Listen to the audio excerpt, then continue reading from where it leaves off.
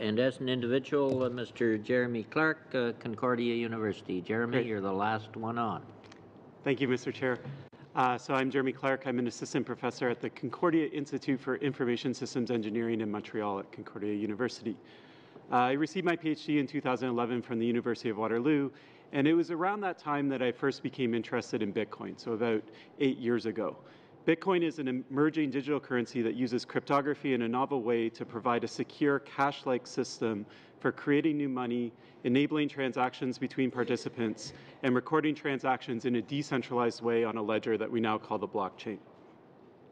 Now, given my expertise as an engineer or a technologist, I feel I can best assist you by providing the technical details of how Bitcoin and blockchain technologies work. I have had many conversations with regulators at FINTRAC as well as Bank of Canada, the AMF in Quebec, Department of Finance, CRTC, the RCMP, and others.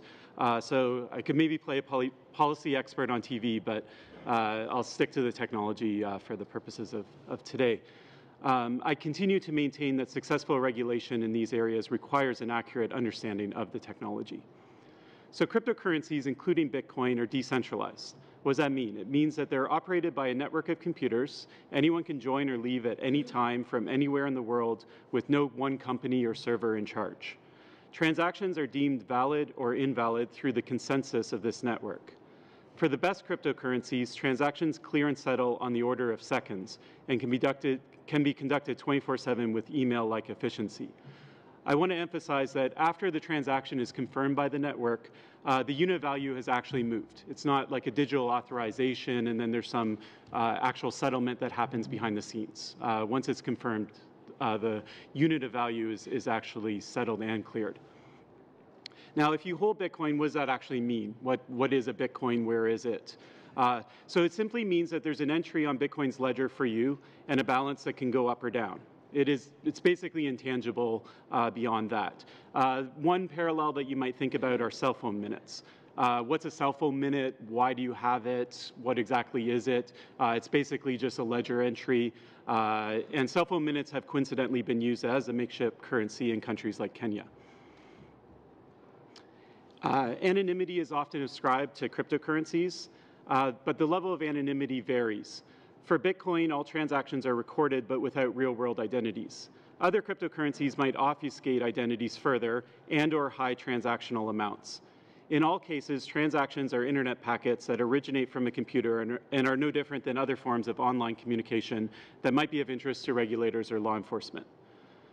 Cryptocurrencies have been suggested as, as, being perfect for various financial crimes, such as tax evasion, terrorist financing, and currency smuggling. Governments have primarily looked at the quote unquote on ramps and off ramps between cryptocurrencies and, say, the Canadian dollar. I think this is sensible in the short run. There's also concern about the use of cryptocurrencies on online markets for illicit goods. Law enforcement has a very good track record of shutting these markets down, essentially by framing the issue as tracing internet packets rather than focusing on the currency that is being used. If we can zoom out for a second, we can take one of two postures in dealing with illicit cryptocurrency activity. Uh, we could try and take a stance of prevention or one of detection. I think prevention will fail. Cryptocurrencies are open, it's an internet driven technology, and Bitcoin is just the first attempt at strong confidentiality and anonymity. It would honestly be technically easier and maybe more productive to ban paper money than Bitcoin. Instead, we should focus on detection of criminal activities. Uh, finally, inside of Bitcoin, underlying it, is a no novel technical innovation called the blockchain. We've seen blockchain projects from within the government, uh, for example, Bank of Canada and the National Research Council. Uh, and this technology has the potential to bring changes to accounting practices, transparency to procurement processes, new methods for raising capital within a company, and new ways of organizing financial markets. We're hopeful that blockchain technology generally adds transparency and accountability to the financial system. I've tried to keep my remarks concise and brief. I once taught an entire course on Bitcoin, so I can literally talk about it for 24 hours. Uh, thank you for your time, and I look forward to answering your questions. You might have to talk to us for 24 hours on it. Uh, um,